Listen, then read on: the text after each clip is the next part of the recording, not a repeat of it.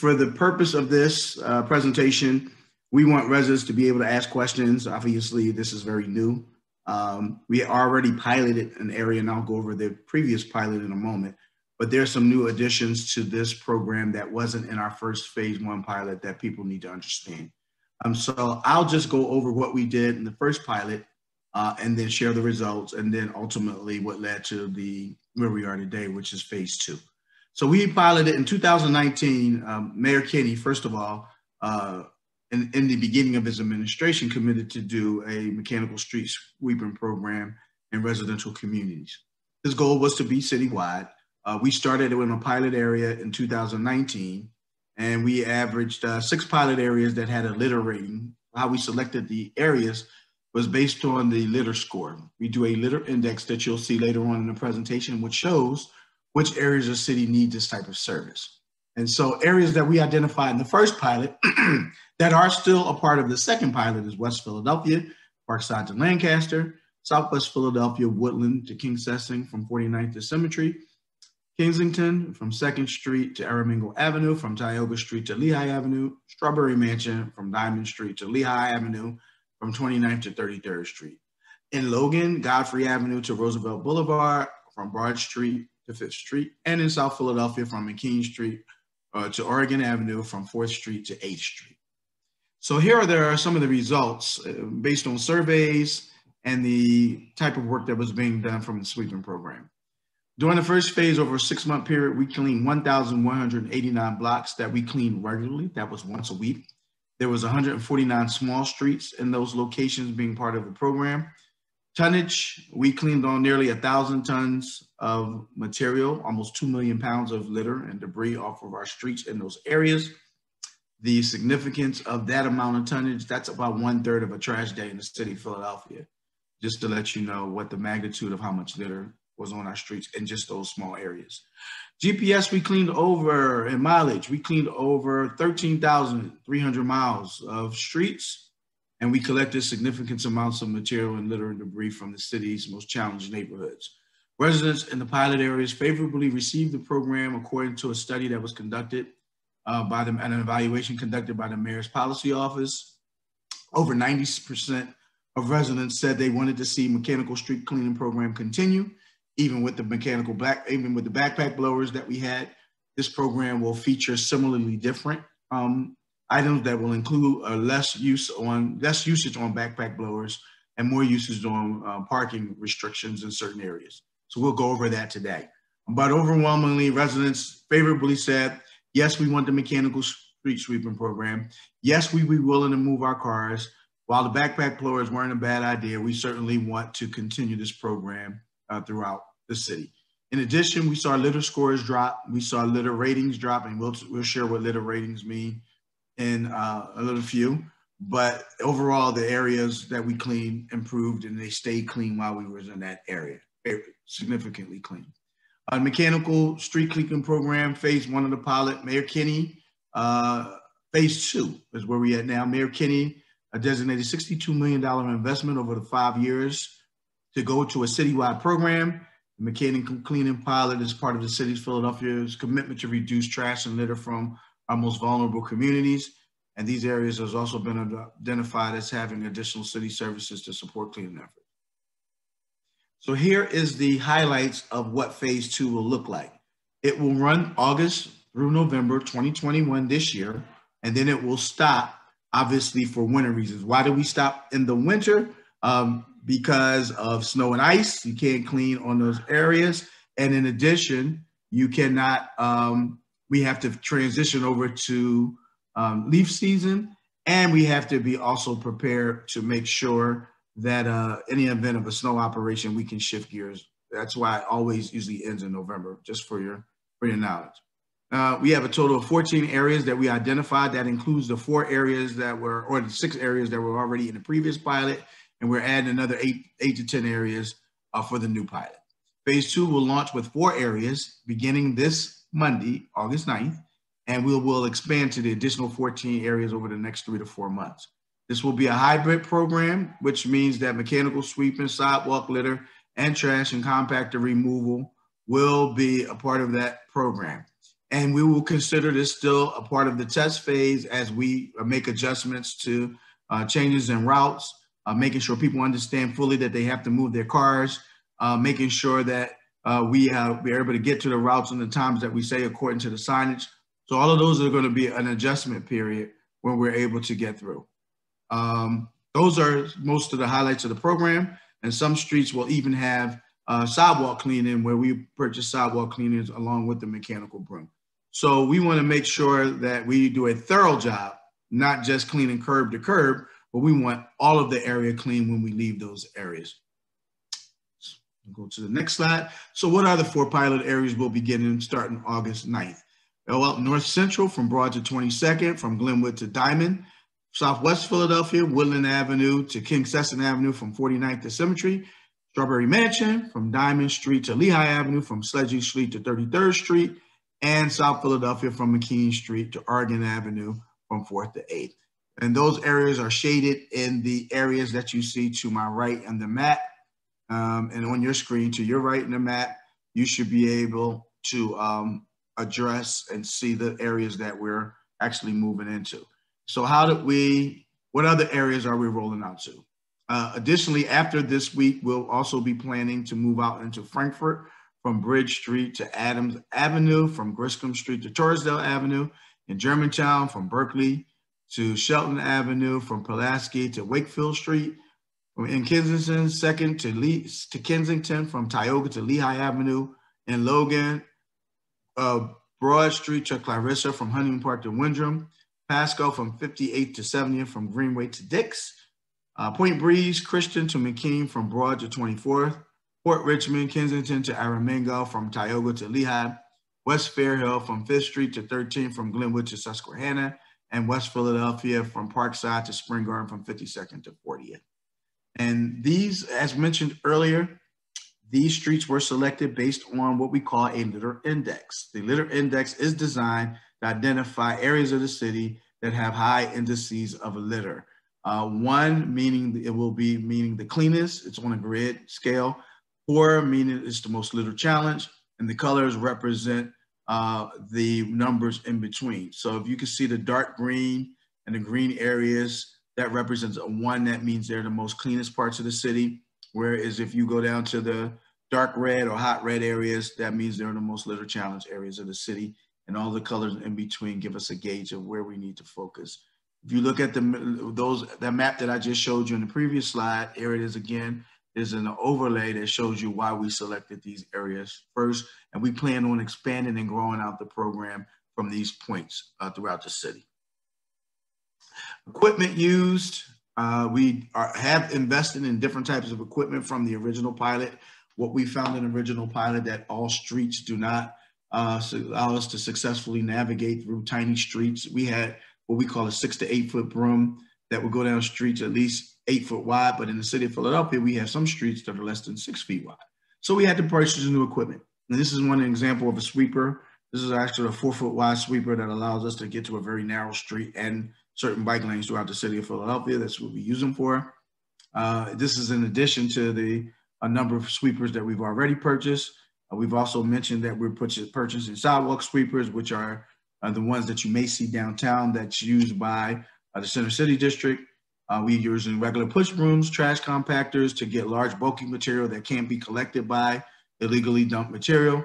Um, and backpack blowers will still be used in certain areas that we don't have access to streets to allow us to do a thorough job in blowing off lots and blowing out sidewalks to allow us to click up and co collect the litter and debris.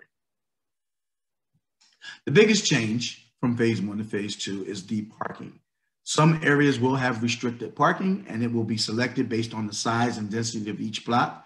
This program for the entire mechanical sweeping program will last um, from Monday through Thursday and it will be from 9 to 3 p.m.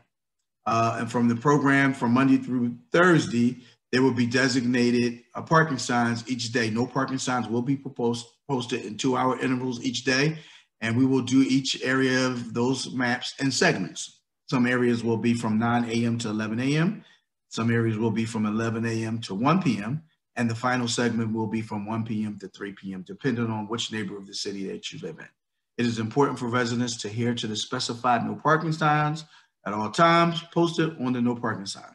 Warnings will be issued and vehicles parked illegally during the early phase of the pilot uh, will receive a warning, but in the future, uh, which is probably at the start of the beginning of next year, people will be receiving fines. And those parking violations will range um, in, in terms of, uh, I, I guess, between 35 and $50. I have to check how much those parking fines are today for illegally parking on the no parking area. To minimize the inconvenience of during the parking restrictions, we are in the final stages of designing an application where residents can actually see where the brooms are at any given time on in their neighborhood on their route. And why is this important? Because once we clean an area, it is uh, safe to bring your car back to that location, even though it may still be in the 9 to 11 or the time frame in which you're told to move your car.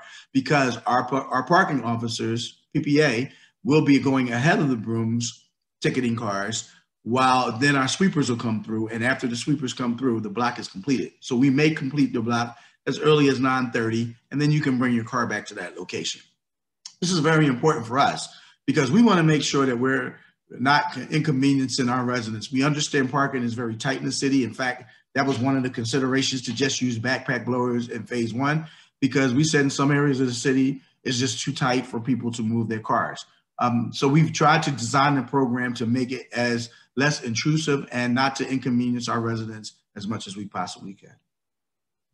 So there's a partnership. There's going to be some give and take between residents and our and the department and the city to make this program a success.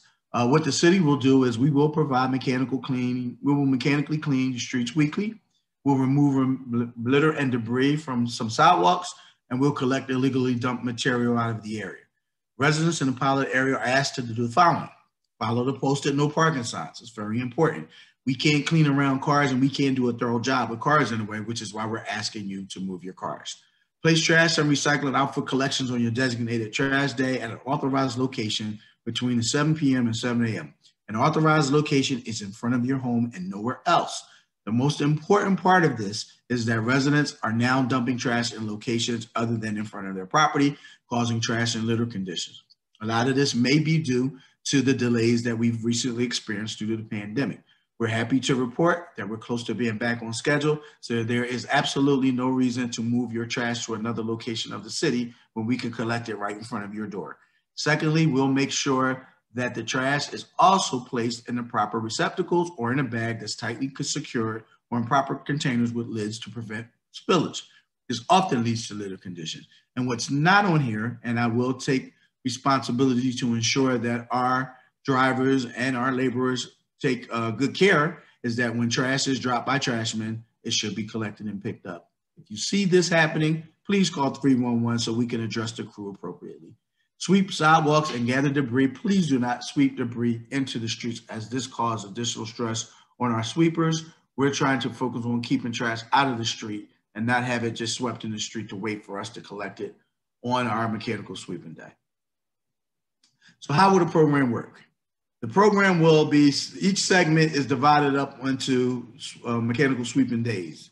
Uh, some blocks will be swept on Mondays, some blocks will be on Tuesdays, some Wednesdays, and some Thursdays, and all of them will have a designated time slot from, from the hours. Here's the one with Strawberry Mansion from 9 to 11 a.m., and here's the streets on Monday on now between 9 and 11 a.m. that will be swept. These streets were strategically mapped out to give people space to try to find a parking place while we're sweeping that area.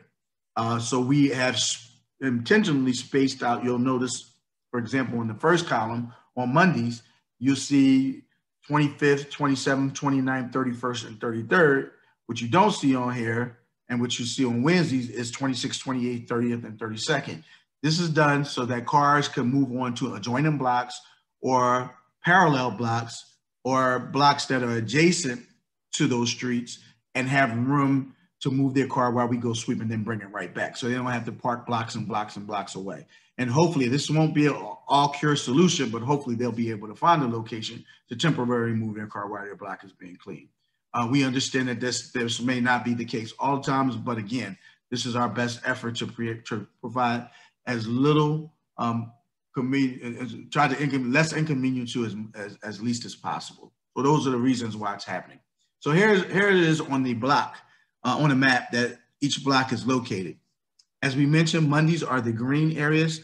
Notice that we start on 25th at the very bottom of the screen, but it jumps to 27th, it goes to 29th, it goes to 31st, goes to 33rd. Between 9 and 11, all of those blocks will be done. Obviously, we'll start, there will be a starting point uh, somewhere on this map, whether we're on the 25th Street side or the 33rd Street side. But again, using the app, you will be able to see what blocks were already cleaned and be able to bring your car back. In addition, if you if you're home that day when we're cleaning the block and you see us go through, then of course it is safe to bring your block back. Then we go to the vertical. Uh, uh, we went vertical. Now we'll go to horizontal Monday routes or Tuesday routes. You'll see from Lehigh Avenue all the way to Diamond and all the blocks in, in between. You see Cumberland. You see um, it's turned on its side, so it's hard for me to look at. But you see those streets in between. Those are every other street. Also, again, for the same purpose of giving people the opportunity to move their car to a designated location that's not being cleaned that day so they won't get tickets. This is kind of the sequence for all areas. Uh, here is South Philadelphia, which follows the same sequence, 9 to 11. Certain streets are already done on Monday, Tuesdays, Wednesdays, and Thursdays. And again, it's strategically spaced out so that cars will be allowed to park. One thing I need to note is that you'll notice that in between the colored streets, the lines that are colored with streets, there are no colors, there's a gray area. That means that there are no parking restrictions for those blocks. Quite simply, as I said earlier, those blocks are too narrow to navigate for them to move. And again, we did not want all of those cars moving in one area at one time because there was absolutely no place to go. So these are the main blocks for us to be able to address and have cars that no posted, but no parking signs posted. This is Woodland uh, to Kingsessing in Southwest Philadelphia. Notice there's a different time for this area, 11 a.m. to 1 p.m. But again, the segmented blocks are listed Mondays through Thursdays.